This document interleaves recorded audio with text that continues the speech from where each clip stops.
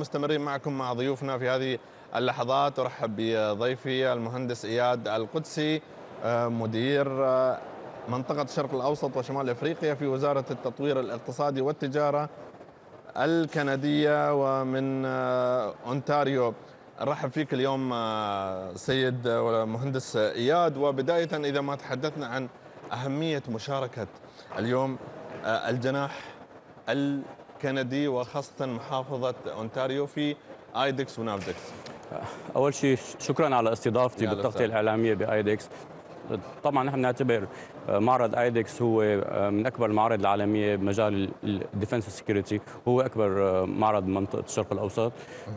فالمشاركة فيه هو كثير يعني شغلة منيحة للشركات أونتاريو للشركات الكندية وبتوقع لكل الشركات العالمية تشارك بهيك حدث كبير ومهم مثل ايدكس ليلتقوا مع زملائهم اللي عاملين بنفس القطاع ويتبادلوا الخبرات وبالتالي نشوف كيف بدنا نطور بعض آه، نتبادل الخبرات مع بعض.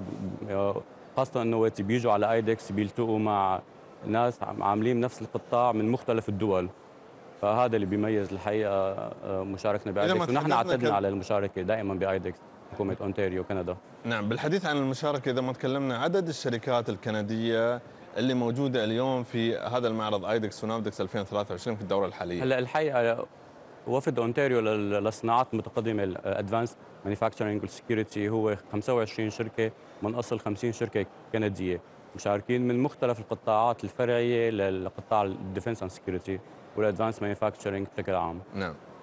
أيضا كذلك يعني تحدثت قبل الهواء أن كجهة حكومية تمثلونها أنتم متواجدون كوزارة التطوير والصناعة والتجارة. ولكن هناك شركات أيضا كندية منفصلة موجودة ما شاء الله داخل المعرض صحيح؟ صحيح في 50 شركة كندية متواجدة بايدكس الجناح الحكومي هو كمان بضم شركات من أونتاريو آه، من بحدود 12 شركة من أونتاريو بجناح الحكومي بالإضافة لشركات آه، آه، مشاركة بايدكس آه، يعني كمان تحت الجناح الكندي تحت ال umbrella الكندية بس مو بجناح الحكومي بس بالنهاية كلنا one team فريق عمل واحد جميل. أونتاريو والكندي سوا. كنا نتحدث عن الشركات والمشاركه هنا من آه، كندا. إذا ما تحدثنا عن أبرز المنتجات وكذلك التقنيات الموجودة اليوم في ايدكس من تطوير وصناعة الشركات الكندية.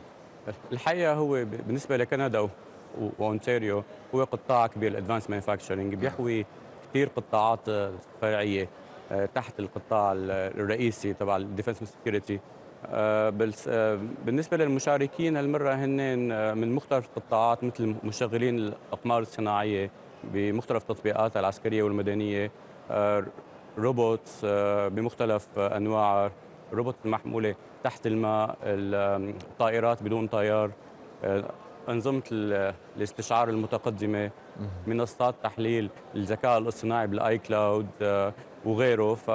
وشركات consulting لتأمين الخدمات والاستشارات العسكرية والأمنية بالنسبة أو خلينا نقول ال cyber security أو ال advanced manufacturing في كافة القطاعات تقريبا يعني آه، متواجدة. تمام. اليوم طيب تواجدكم في هذا الحدث العالمي شو اللي يميز آيدكس ونافدكس عن غيرها من المعارض في نفس آه، التخصص؟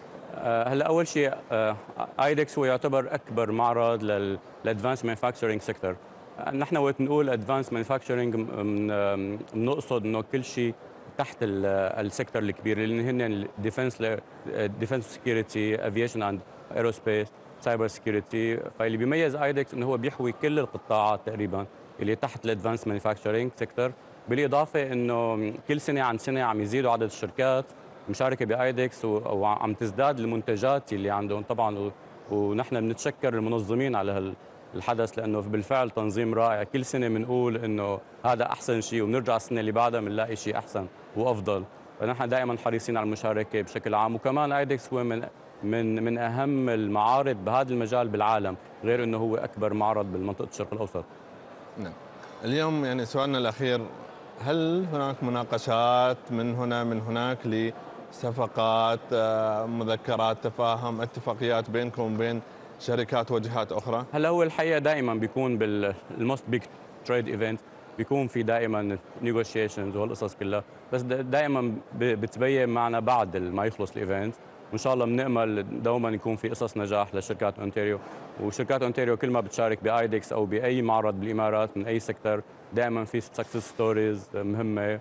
وإن شاء الله بنتمنى الخير لهم ولباقي الشركات المشاركين. إن شاء الله.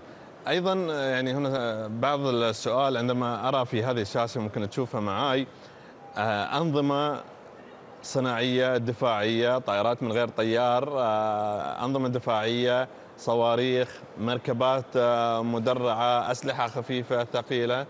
كل هذه عبر صناعات إماراتية ما شاء الله. لشركة اج كبرى شركات مجموعة تضم تحت مظلتها أكثر من 20 شركة دفاعية. كيف تشوف الصناعات الإماراتية اليوم خاصة في هذا المجال اللي أصبحت يعني جنبا إلى جنب مع الصناعات والمنتجات الدفاعية العالمية. الحقيقة هذا سبب ثاني بيخلي دائما الشركات الكنديه تشارك آه، إنه عم عم نشوف التطور والتقدم بالصناعات ال cyber security ال advanced manufacturing ال defence بالإمارات. كل سنة عن سنة عم نلاقي صناعات جديدة. وهلأ حاليا الحقيقة وقت واحد بدور بالمعرض بيلاقي بالفعل من من أجمل الأجنحة ومن من أحسن الاكويبمنت هن اللي عم يتصنعوا بالإمارات. فهذا الشيء طبعا شيء كثير منيح وشيء كثير نعتز فيه أكيد ولهذا السبب نحن بنحب دائما نشارك نحن كحكومة والشركات الكندية بمعرض آيدك هل هذه أول زيارة لك شخصيا لهذا المعرض أم أنتم لا الحقيقة نحن صرنا, صرنا فترة هاي رابع مرة بنشارك بآيدكس نعم. يعني آه، أول شيء كنت نزور ك visitor بس ك exhibitor هي رابع مرة الحكومة حكومه أونتاريو بتشارك لأنه هو every other year فبالتالي لا دائما مو مو ونحن كثير بنجي بنشارك بالإمارات بعدة قطاعات مو بس أهلا وسهلا فيكم بلدكم الثاني نتشرف دائما فيكم بالأشقاء والأصدقاء وفي وطن التسامح المفتوح على الجميع دائما. المهندس إياد القدسي أشكرك في نهاية هذا الحديث. مدير منطقة الشرق الأوسط وأفريقيا في وزارة التطوير الاقتصادي والتجارة من أونتاريو بكندا. كل الشكر لك. شكرا لك وإن شاء الله دائما للنجاح. أكثر آمين أجمعين.